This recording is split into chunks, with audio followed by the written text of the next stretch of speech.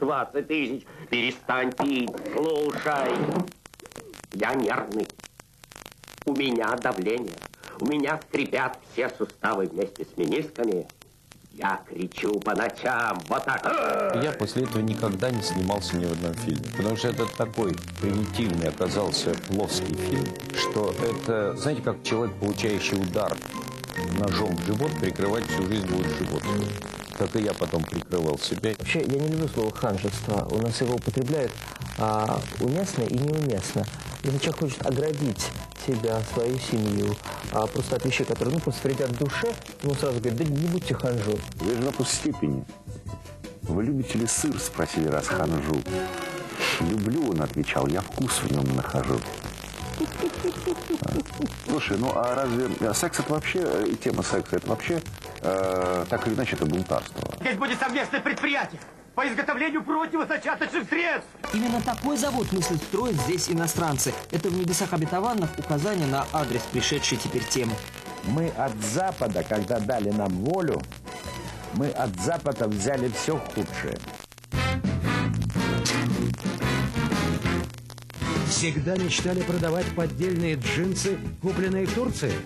Но вам неудобно перевозить товар через границу в руках, а на ноги налезает не больше трех пар? Вам поможет клетчатая сумка челнока. Клетчатая сумка.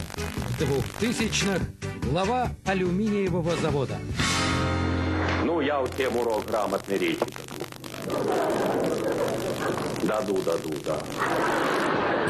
Так, спародировав нынешнего президента, он успеет подружиться и с будущим. 12 июня 91 года президентом РСФСР стал Борис Ельцин. Теперь его тоже пародируют. Вот начинающий Владимир Лучинский с, возможно, первой пародией в истории на Ельцина. Я считаю, что теперь поднять экономику может только программа 500 яиц. Может, от того еще Задорнову выпало поздравить страну вместо Ельцина с Новым годом, что президент ему доверил это по-дружески. До последнего думали, что что-то может измениться. И все тянули, тянули, в конце концов. Но меня прослушивал начальство. Я им предложил этот вариант. По-моему, Яковлев тогда был. Он так улыбнулся. Улыбнулся, говорит, хорошо. Еле-еле заметно улыбнулся. А с 93-го Михаил Николаевич живет в одном доме с Борисом Николаевичем на осенней улице в Крылатском. Вот осенняя улица, дом 4, корпус 2. Похоже на школу какую-то. Я слышал, могу даже от тебя, что э, согласие вписать Задорнова в этот проект э, было получено на корте. Если Ельцин будет играть с тем, кто не умеет играть, игры не получится. Не получится. Ну, конечно. И э, организовал чудные встречи. Коржаков меня винит, что я там смешил всех, а на самом деле мне действительно нравится доставать мяч. Я вратарем был, падал там. Ну, весело, было хорошо. Задорнов единственный из жильцов этого дома, кто не входил во власть. Послушай, ну ведь приятно жить в доме с партнером Бандерисом. Я 8 лет носил свои рассказы, они не печатались. Я их носил, не буду говорить, в какую литературную газету.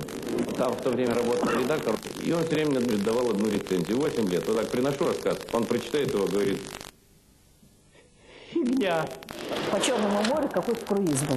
И Миша мне рассказывает, как в Одессе Евгений Ваганович выходит э, с теплохода, и море народу к нему бросаются, там тоже фотограф, э, фотографируется, автограф. И Миша мне тогда говорит, ой, господи, ну хотя бы если бы на десятый час у меня вот была, была поклонников, вот у, э, у Жени, вот хотя бы десятый час ко мне бросился.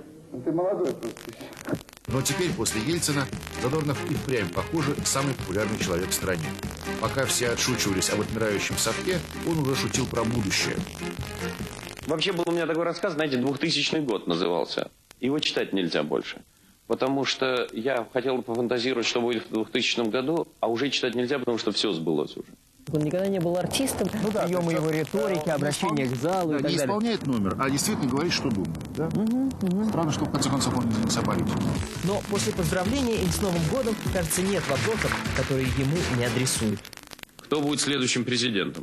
Лысый точно, потому что есть точная формула, по которой меняются наши правители. Значит, объясняю. Ленин был лысый, Сталин с волосами. Хрущев был лысый, Брежнев с волосами. Андропов был лысый, Черненко с волосами.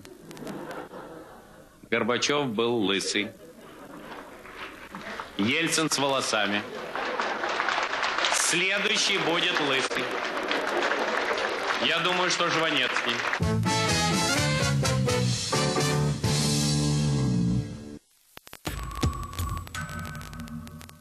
Ты считаешь, что смартфон сложный и в его возможностях можно утонуть?